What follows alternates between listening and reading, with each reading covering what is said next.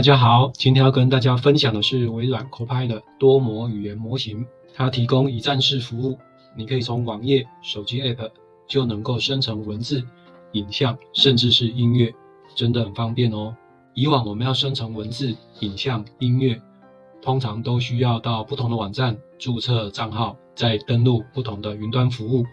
现在呢，都可以在 Copilot 里面一次完成，相信这也会是未来 AI 的发展方向。Copilot 它其实已经成为 Windows 十一，还有未来 Windows 十二的标准配备。最新的电脑键盘上也将会发现有 Copilot 专属的按键。接下来我们就来看看到底 Copilot 有哪些特色值得推荐给大家。首先，第一个，它已经不再局限只能透过微软的 Edge 浏览器来使用，不论你现在是使用 Chrome 还是 Firefox 或者 Safari，你只要打开浏览器或安装 App 之后。就能够使用它。不过我自己实际测试之后，还是发现使用微软的 Edge，你才可以有更高的 AI 使用的顺序，还有更短的反应时间。第二个呢，你可以在 Copilot 里面使用 ChatGPT 4的版本，还有做即时的网络资料查询。这个在 OpenAI 的部分呢，都是属于付费功能，你才可以使用得到的。此外呢，它也有创意、平衡和精确的三种回应的模式。你甚至可以直接用语音的方式跟 AI 做互动问答，就不用再辛苦打字了。那如果你是使用 Edge 浏览器的话，你还可以在它的右侧看到跟 ChatGPT 付费功能一样，你可以选择外挂程式。虽然目前它的外挂程式不多，而且每次交谈最多只能选择三个外挂程式，但是相信这些外挂日后只会越来越多，越来越好用。此外呢，第三点。你也可以在 Copilot 里面上传图片来进行分析，它很类似 Google 智慧镜头的功能，所以你只要透过下面这个按钮，就可以把图片上传上去，那再透过 AI 来提问这个图片相关的内容。不过我在实际测试的时候，呃，常常会发现，就是虽然它已经分析完了，但是你可能会看到下面这样的讯息，告诉你说它可能没有办法完成。好，所以如果有出现这样状态，你可以再问他实际分析之后的结果是不是有正确，已经查到了。那第四个呢，我们甚至可以在 Copilot 里面直接透过 Bing Image Creator 来生成图片。目前 Bing Image Creator 应该是很多这个 AI 生成服务里面中文语解能力算是最好的。那它生成的图片也相当的不错，每天呢你都会有二十五点这个加强型的生成点数。其实，如果你是使用微软的 Edge，使用它的 App，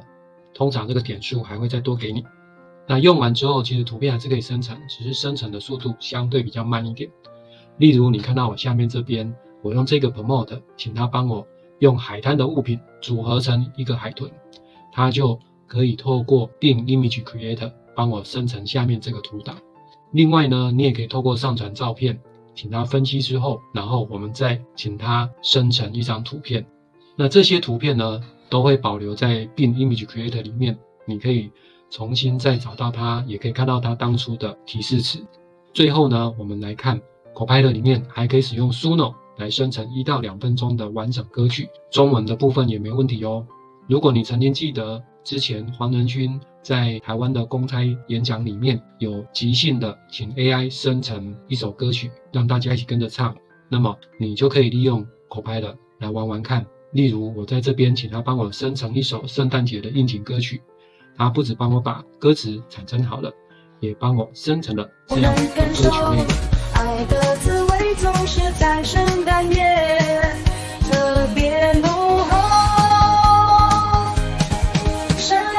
所以真的很厉害吧？那我们再往下看一下，我再请他帮我生成一首跨年的中文歌曲，而且有指定抒情的风格，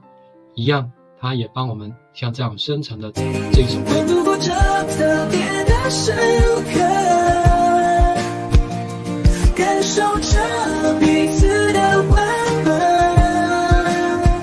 是不是真的很厉害呢？好，那当然口拍呢也有一些使用的限制，比如说目前病的 AI 它就是限制在三十个来回。那如果呢对于一些敏感的话题，或者它无法做出回应的时候，它也会建议换个话题。